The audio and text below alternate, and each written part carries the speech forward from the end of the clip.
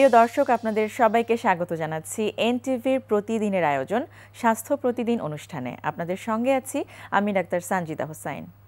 দর্শক, যে বিষয়টি নিয়ে আজ আমরা আলোচনা করব সেটি হচ্ছে বন্ধাত্ম।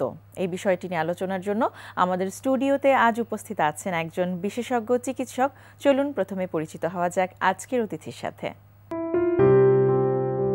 ডাক্তার শামিমা নার্গিস নীলা, উনিশশো পঁচাত্তর সালের মে মাসে ঢাকা জেলায় জন্মগ্রহণ করেন। তিনি উনিশশো নিরানব্বই সালে ঢাকা মেডিকেল কলেজ থেকে এমবিবিএস ডিগ্রি অর্জন করেন। এরপর তিনি চিকিৎসা বিজ্ঞানে উচ্চতর এফসিপিএস ডিগ্রি লাভ করেন। বর্তমানে তিনি বাংলাদেশ স্পেশালাইজড হাসপাতালের গাইনি ও অবস বিভাগের কনসালটেন্ট হিসেবে কর্মরত আছেন। আপনাকে ধন্যবাদ আমাদের ধন্যবাদ আপনাকেও। যেটা বলছিলাম যে আমাদের আজকের অনুষ্ঠানের বিষয় হচ্ছে বা আলোচনার বিষয় বন্ধাত্ম।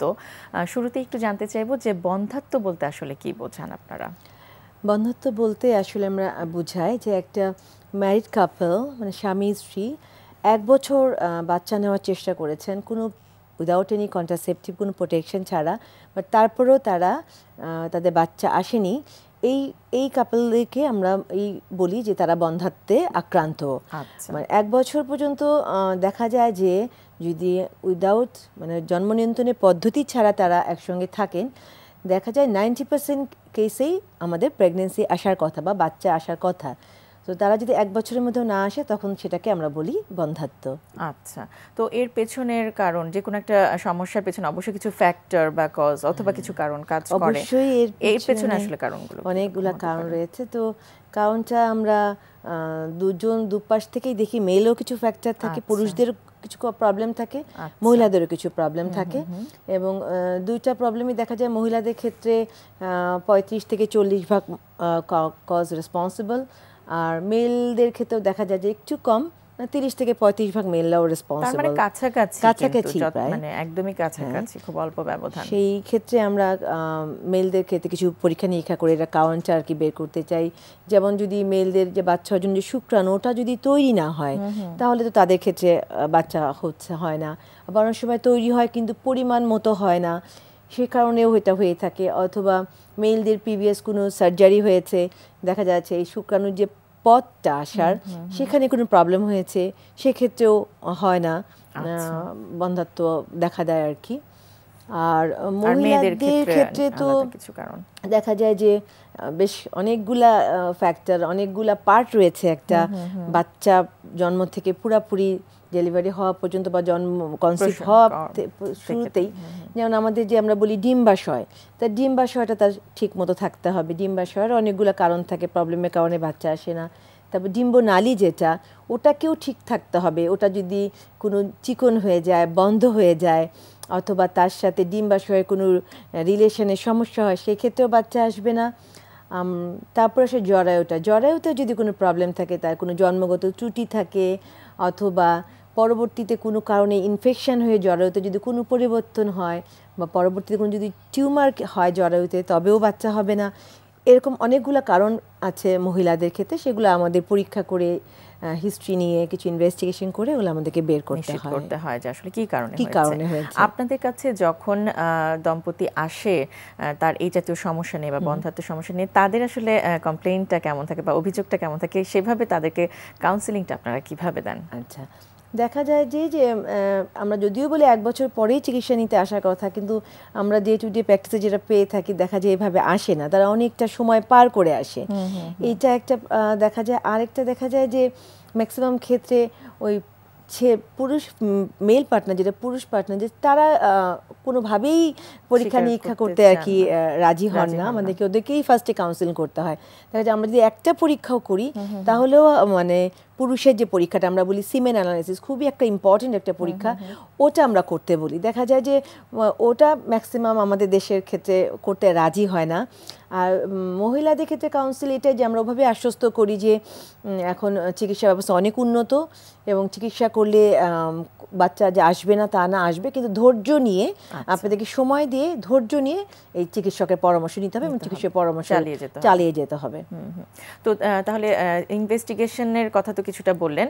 আমরা যদি চিকিৎসার দিকে যাই তাহলে এই যেহেতু কারণ ভিন্ন হতে হ্যাঁ। পারে তো কারণের উপর ভিত্তি করে চিকিৎসাটা আপনারা কীভাবে সেটা হলো যে দেখা যায় যে পুরুষদের ক্ষেত্রে থেকে আমি শুরু করি চিকিৎসাটা। আমরা যেটা বললাম আপনাকে আমরা সিমেন অ্যানালিসিসটা করি। ওতে আমরা মেইনলি দেখতে চাই যে যে শুক্রাণু যেটা বলে স্পাম বলে ইংলিশে যে শুক্রাণুটা তার পরিমাণ মতো আছে কিনা। এবং দেখা যায় যে ম্যাক্সিমাম ক্ষেত্রে যদি নর্মালি থেকে একটু কম থাকে এবং খুবই আনন্দের বিষয় যে এটা অল্প কিছু মেডিকেশনেই এটা নর্মাল কাউন্টে চলে যায় এবং সেক্ষেত্রে কনসেপশন রেট অনেক হাই হয়ে যায়। সামান্য আচ্ছা। কিছু ড্রাগ যেমন কিছু হরমোন দিয়ে আমরা কিছু ভিটামিনস যেমন অ্যান্টিঅক্সিডেন্ট বলে এই ওষুধগুলো যদি তারা একটু নিয়মিত খায় তাহলে দেখা যায় যে কিন্তু খুব সহজেই তারা আমাদের এই প্রবলেমটা থেকে বের হয়ে আসতে পারে। যদি কারণ সেটাই থাকে। যদি কারণ সেটা থাকে। আচ্ছা। আর অনেক সময় দেখা যায় যে শুক্রাণুটা নেই। তখন আমরা চেষ্টা করি যে ফাইন্ড আউট করতে শুক্রাণুটা কি তার একেবারে তৈরি হচ্ছে না? না কোনো কারণে তার পথটাতে কোথাও বাধা আছে। যদি দেখা যায় পথে কোনো বাধা যেটা আমরা বলি যে ডাক্টে অবস্ট্রাকশন সেক্ষেত্রে আমরা দেখি ইউরোলজিস্টের হেল্প নেই আমরা। ইউরোলজিস্টের কাছে পাঠাই ওরা ওনার একটা স্পেসিফিক সার্জারি আছে ওটা করে দিলে আবার দেখা যায় যে নর্মাল হয়ে যায় এবং সেখানে আমাদের কনসেপশন তখন ক্লিয়ার হয়ে যায় এবং কনসেপশন ডেফিনেটলি অনেক অনেকখানি বেড়ে যায় আর কি। এই হলো মেল এবং কিছু কিছুতে দেখা যায় যে আমরা যে একবারে যে একেবারেই আসে না তৈরি হয় না এমনও কিছু হরমোনজনিত কারণ হয়ে থাকে সেক্ষেত্রে আমরা একটু হোপলেস থাকি এবং এই পার্সেন্টেজ খুবই ফিউ হ্যাঁ খুবই কম। আচ্ছা। আর ফিমেলদের ক্ষেত্রে আসলে অনেকগুলা ফ্যাক্টর অনেকগুলা জায়গা ট্রিটমেন্টটাও এরকম অনেকগুলা জায়গা যেমন কজের কথা আপনি হ্যাঁ, বলেছিলেন কজের কথা বলেছিলাম। যেমন ওভারি থেকে ডিম্বাশয় থেকে যদি শুরু করি আমরা দেখা যায় আমাদের কাছে যে পেশেন্টগুলো আছে ম্যাক্সিমাম ক্ষেত্রে দেখা যায় যে ডিম্বাশয় তাদের ডিম্বাণু যেটা ওটা আর কি পরিমিত নাই। যতটুকু ডিম্বাণু লাগবে যতটুকু ডিম্বাণু সাইজটা লাগবে ওই পরিমাণ ডিম্বাণু তাদের তৈরি হয় না। তারপর যেটাকে আমরা বলি ওভুলেশন তাদের ওভুলেশনও হয় না বাচ্চাও আসে না। এবং এদের ক্ষেত্রে আমাদের ড্রাগস আছে কিছু। আমরা যদি সেই ড্রাগস দিই হরমোন ড্রাগস দিই সেক্ষেত্রে এই ডিম্বাণুটা বড় হয় এদের ওভুলেশনও হয় এবং এদের কনসেপশন রেটও ভালো। এটা এক ধরনের একটা খুব কমন একটা ডিজিজ আমরা ডে টু ডে পেয়ে থাকি সেটাকে বলে পলিসিস্টিক ওভারিয়ান ডিজিজ যা পলিসিস্টিক ওভারিয়ান সিন্ড্রোম এই পেশেন্টগুলোর ক্ষেত্রে স্পেসিফিক্যালি এই গ্রুপটার ক্ষেত্রে দেখা যায় যে ওভুলেশন হয় না। ডিম্বাণুটা তাদের পরিমাণ পরিমিত সাইজে হয় না। আমরা কখনো মুখে ওষুধ দিয়ে কিছুদিন দেখি তারপরে যদি মুখে ওষুধে কাজ না হয় তখন আমরা কিছু ইঞ্জেকশন ইউজ করি। এবং তখন দেখা যায় যে আমাদের এদের ডিম্বাণুগুলো বেশ পরিমাণ মতো আমাদের ডিজায়ার্ড মতো আসে এবং এদেরকে আমাদের যে নিয়মটা বলি আমরা অ্যাডভাইসটা দিই ওই নিয়মে চললে দেখা যায় যে এদের হয়ে যায়। আচ্ছা একটু আমি ইন্টারাপ্ট করব। আপনি যেটি বলছিলেন যে পলিসিস্টিক ওভারি এই এই সমস্যাটা যাদের হয় তারা কিন্তু খুব চিন্তার মধ্যে পড়ে যান হ্যাঁ, হ্যাঁ। যে ভবিষ্যতে তাদের এরকম সমস্যা হয় কিনা। বিশেষ করে যারা বয়সন্ধিকালীন অবস্থায় আছেন যেসব মেয়েরা বা তাদের মায়েরা হ্যাঁ। তাদের জন্য আপনাদের আসলে পরামর্শ পরামর্শ এটাই যে এটা তো যেটা বললাম যে বাচ্চা না হয় না এই সমস্যা নিয়ে আমাদের কাছে আসে তার আগের স্টেপটাই হলো এদের মাসিকটা থাকে অনিয়মিত। দু মাস তিন মাস পর পর মাসিকটা হয় তখন থেকেই ওদের অ্যাংজাইটিটা কাজ করে যে তাহলে কি হবে? তা আমাদের কাছে আসলে আমরা এটাই বলি যে এটা ভয়ের কোনো ডিজিজ না অসুখ না এটা আপনারা ওই সময় আমরা ও হরমোন ট্রিটমেন্ট করে তাদের মাসিকটাকে রেগুলার করি এবং ওটাই অ্যাডভাইস দিই আমরাকে যে আপনাদের বিয়ের পরে আপনারা যেন দেরি না করেন হ্যাঁ? আচ্ছা। এটা বাচ্চা নেওয়ার চেষ্টা করবেন ন্যাচারাল পদ্ধতিতে। যদি না আসে তাহলে আপনার খুব তাড়াতাড়ি ডাক্তারের পরামর্শ নেবেন এবং ডাক্তারের পরামর্শের মতো চললে পারে। এটার মানে কনসেপশন রেট হাই মানে কাজটা হয়ে যাবে যদি সময় মতো হ্যাঁ, দেরি করা যাবে না। দিনের পর দিন একই সমস্যা নিয়ে তারা বসে থাকল তাহলে তো হবে না। ডাক্তারের পরামর্শ নিতে হবে এবং চিকিৎসা করলে এটা বাচ্চা তাদের আসবে। আচ্ছা। আর আরও চিকিৎসা পদ্ধতির কিছু কথা হ্যাঁ, পদ্ধতি যেমন এটা বললাম যে ডিম্বাশয় যদি প্রবলেম থাকে আরেকটা ইম্পর্টেন্ট ফ্যাক্টর হল যেটা বললাম ডিম্ব নালী যেটা টিউবটা টিউবটা টিউবটার ক্ষেত্রে দেখা যায় যে টিউবে যদি দেখা যায় ইনফেকশনের কারণে আবার কিছু ডিজিজ আছে যেমন যেটাকে আমরা বলি এন্ডোমেট্রিওসিস পিআইডি যেটা ইনফেকশন বললাম এই ধরনের ডিজিজে হয় কি টিউবটার যে নর্মাল অ্যানাটমিটা বডির সেটা থাকে না। টিউবটা হয় বন্ধ হয়ে যায় নয় বেঁকে যায় নয় ডিম্বাশয় থেকে সরে যায়। এদের ক্ষেত্রে দেখা যায় যে তাদের আর বাচ্চা আসতে চায় না। আচ্ছা। এবং এই ক্ষেত্রে আমরা প্রথমে একটু ইনফেকশনের জন্য অ্যান্টিবায়োটিক দিয়ে থাকি এতে অনেক সময় রেসপন্স করে। কিন্তু আনফর্চুনেটলি যদি আমাদের কাছে আসার আগেই দুইটা টিউব তাদের ব্লক হয়ে যায় বন্ধ হয়ে যায়। হয়ে যায় তাদের ক্ষেত্রে আর আমরা আর কোনো ইয়ে করতে পারি না। সেই ক্ষেত্রে আমাদেরকে যেটাকে আমরা বলি যে আইভিএফ আইভিএফ পদ্ধতি যেটা বা চেস্ট টিউব বেবি জেনারেলি সবাই যেটা বলে আচ্ছা। ওটাতে আমাদেরকে চলে যেতে হয়। যেতে হয়। তাহলে আর যদি জরায়ুর কোনো প্রবলেমেও কিছু কিছু হয় যেমন যদি কোনো একটা টিউমার আমরা যেটা ফাইব্রয়েড বলি, খুব কমন সবাই এটাই ফাইব্রয়েড নামেই জানি। সেক্ষেত্রে আমরা যদি ফাইব্রয়েডটাকে ফেলে দেই, তাহলে দেখা যাবে আবার আমরা নর্মাল মেডিকেশন দিয়ে তার ট্রিটমেন্টটা করা যায়। খুব কমপ্লিকেটেড এটা কোনো অপারেশন না। আবার জ্বরের ভিতরে অনেক সময় পর্দা হয়ে যায়, জ্বরে ওটা লেগে যায়। তখন আমরা হিস্টোরোস্কোপিক্যালি কিছু ট্রিটমেন্ট করি ওই পর্দাটা কেটে দিই পরবর্তীতে তাদের দেখা যায় যে এরকম বাচ্চা আসতে অসুবিধা হয় হচ্ছে না এবং আপনারা এটি সফলভাবে করছেন হ্যাঁ আমাদের আমরা সফলভাবে আমাদের দেশেই করছি আমরা সফলভাবে এটা করছি। ম্যাডাম অনেক অনেক ধন্যবাদ। এই বন্ধাত্ব বিষয়টি নিয়ে অনেক গুরুত্বপূর্ণ কিছু তথ্য আমরা জানতে পারলাম আপনার কাছ থেকে। আপনাকেও অনেক ধন্যবাদ। এনটিভি পরিবারকেও অনেক অনেক ধন্যবাদ। দর্শক, আমরা জানতে পারলাম বন্ধাত্ম নিয়ে বেশ কিছু গুরুত্বপূর্ণ তথ্য, বেশ কিছু গুরুত্বপূর্ণ পরামর্শ আমরা জানলাম আমাদের আজকের অতিথির কাছ থেকে। আশা করছি যারা এই জাতীয় সমস্যায় ভুগছেন তাদের জন্য অনেক উপকারে আসবে আমাদের আজকের আলোচনা। আজকে আমরা যে ব্যায়ামটা দেখব, এটার নাম হচ্ছে চেয়ার ডিপস বেসিক্যালি এটা হচ্ছে ট্রাইসেপের এক্সারসাইজ ট্রাইসেপ মানে হচ্ছে যে হাতের এই অংশের। অনেকেই দেখা যায় মহিলারাই যে ওজন বেড়ে যাওয়ার পরে অনেকে কমপ্লেন করেন যে, যখন আমি ব্যায়াম করছি, ওজন কমছে। কিন্তু হাতটা ওভাবে কমছে না বা কমার পরেও টোন্ড একটা হাত মনে হচ্ছে না। মনে হচ্ছে যেন ঝুলে আছে বা কেমন যেন থলথলে। তো এজন্য আমরা এই ব্যায়ামটা করব যে কীভাবে আপনারা শুরু করবেন এবং করতে করতে আপনারা তো রেজাল্টটা পেয়েই যাচ্ছেন। পাশাপাশি অন্যান্য শুধু হাতের ওই কাজের পাশাপাশি যেন আরও কিছু কাজও আপনারা একসাথে করে নিতে পারেন, সেটার জন্য আমরা একসাথে কয়েকটা মুভ অ্যাড করে নিব। তো আমরা বিগিনার লেভেলে প্রথমে দেখি বিগিনার লেভেলটা দেখাচ্ছে হচ্ছে Tasrin. Okay Tasrin go. Okay and Tasrin go.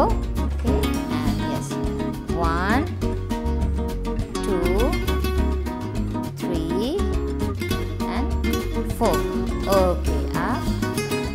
দেখলাম তাহলে যে কি, হাঁটুটা ভেঙে বেঞ্চে নিয়ে তখন ও করছে যখন হাতটা পিছিয়ে নিয়ে।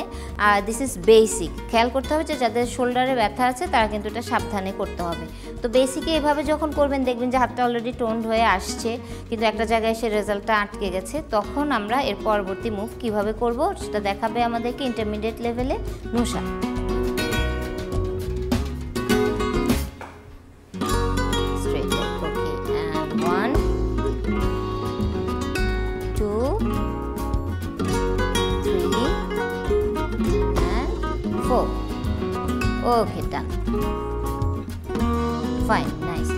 আমরা দেখলাম যে শুধুমাত্র হাঁটুটা ভেঙে করছিল আর এখন হাঁটুটা স্ট্রেট করে স্ট্রেট লেগে করাতে অনেকটুকু কিন্তু এফোর্টটা বেশি দিতে হবে। সো এটা খেয়াল করে নেবেন, যদি না পারেন তাহলে একটা হাঁটু ভেঙে, একটা পা স্ট্রেট করে এভাবে করেও আপনারা করতে পারেন। কিন্তু যখন এও ইজি হয়ে যাবে, তখন কীভাবে করবেন সেটা দেখাবে আমাদেরকে অ্যাডভান্স লেভেলে লিও লিও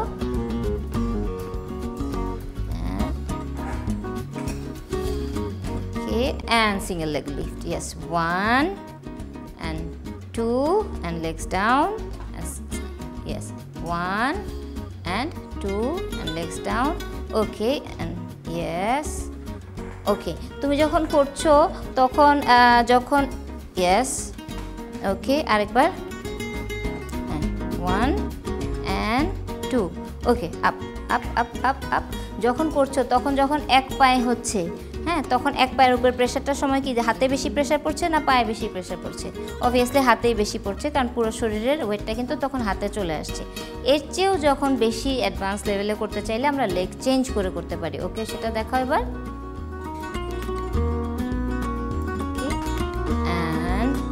One, and two, and three, and last one, four. Okay, up. তাহলে আমরা যেটা দেখলাম যে যখন পাঁচ বারবার করে চেঞ্জ করছে, তখন কিন্তু প্রতি ক্ষেত্রেই তার ব্যালেন্সের একটা সমস্যা হচ্ছে। ব্যালেন্সটা ধরে রাখার জন্য, পাশাপাশি হাতের টোনিংয়ের জন্য এবং অ্যাপস, কোর, পেটের থেকেও কিন্তু কিছুটা জোর আনতেই হচ্ছে। তো সব মিলিয়ে আপনার হাতও কমবে, পেটও কমবে এবং ব্যালেন্স বাড়বে এবং লেগসের পাওয়ার যেহেতু এক পায়ের উপর থাকবেন, তখন লেগসের পাওয়ারটাও বেড়ে যাবে। তো আমরা আশা করব যে যাদের শোল্ডারের ব্যথা আছে, তারা একটু খেয়াল করে নিয়ে তারপরে করবেন এবং যে লেভেল থেকে আপনি শুরু করতে পারবেন, সেখান থেকে শুধু শুধু হঠাৎ করে এক্সপেরিমেন্টের জন্য অন্য কোনো লেভেলে ট্রাই করতে যাবেন না। যতক্ষণ না আপনার বিগিনার বা ফাউন্ডেশন লেভেলটা ঠিকমতো প্রপারলি আপনি এক্সিকিউট করতে না পারছেন। প্রিয় দর্শক গর্ভবতী মায়েদের খাদ্য তালিকায় কি কি ধরনের খাবার দাবার থাকা উচিত? চলুন শুনে নেই একজন পুষ্টিবিদের কাছ থেকে। একজন সন্তান সম্ভবা মায়ের সঠিক পুষ্টি চাহিদা পূরণ খুবই গুরুত্বপূর্ণ। তার গর্ভস্থ সন্তানের সঠিক পুষ্টির জন্য এবং মায়ের নিজের সুস্থ থাকার জন্য তার একটি পথ ব্যবস্থাপনা খুবই গুরুত্বপূর্ণ ভূমিকা রাখে।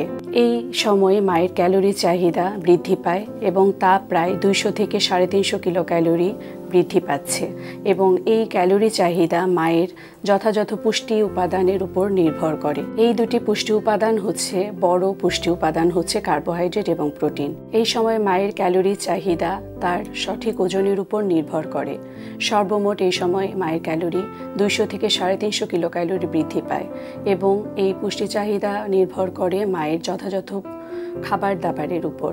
সবচেয়ে বড় পুষ্টি উপাদান হচ্ছে প্রোটিন এবং এই প্রোটিনের চাহিদা পূরণের জন্য মাকে তার খাবারের সাথে বিভিন্ন ফার্স্ট ক্লাস কয়েকটি প্রোটিন আছে যা অবশ্যই অন্তর্ভুক্ত করতে হবে। তার মধ্যে দুধ, ডিম, মাছ, মাংস, দই, ছানা, পনির এগুলো খুবই ভালো।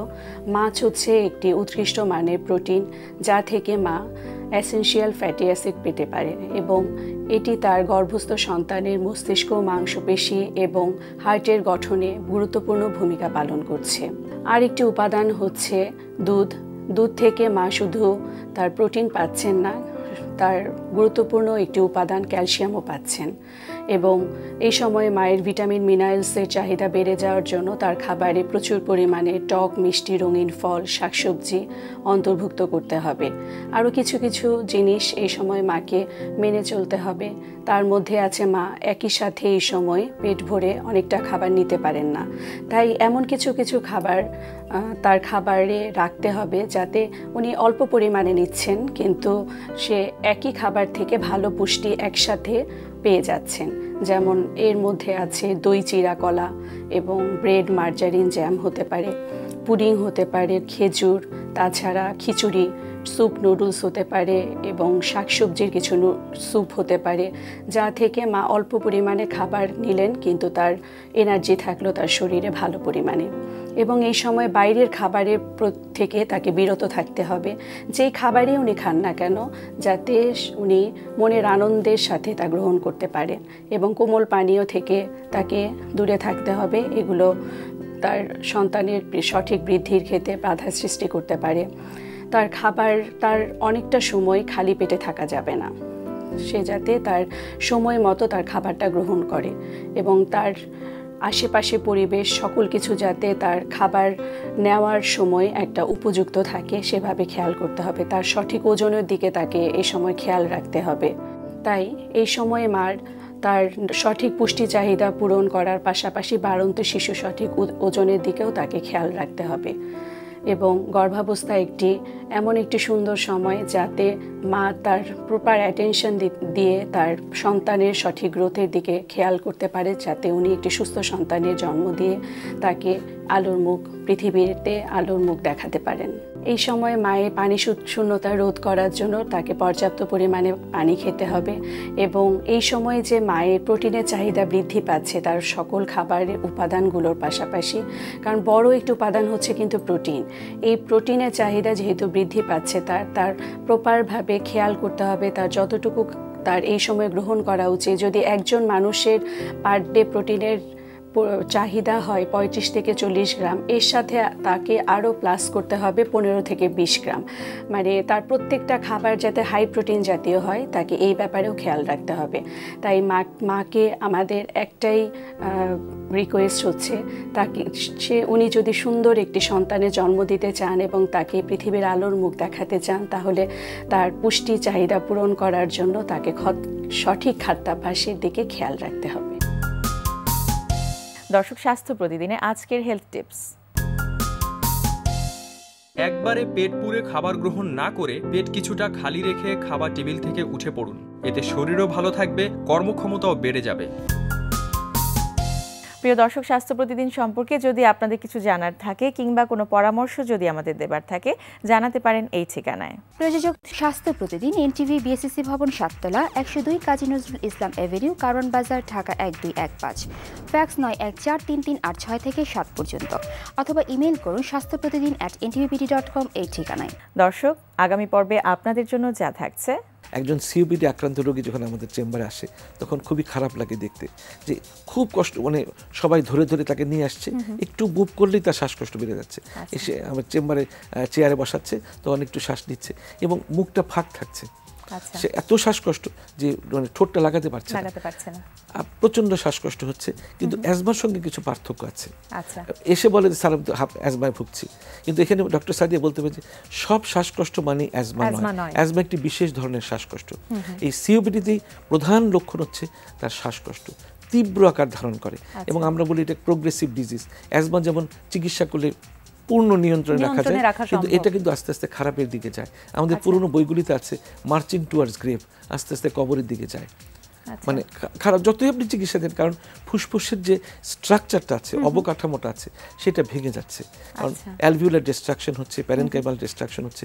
ফুসফুসের অবকাঠামো যদি নষ্ট হয়ে যায় আপনি কি দিয়ে চিকিৎসা করবেন?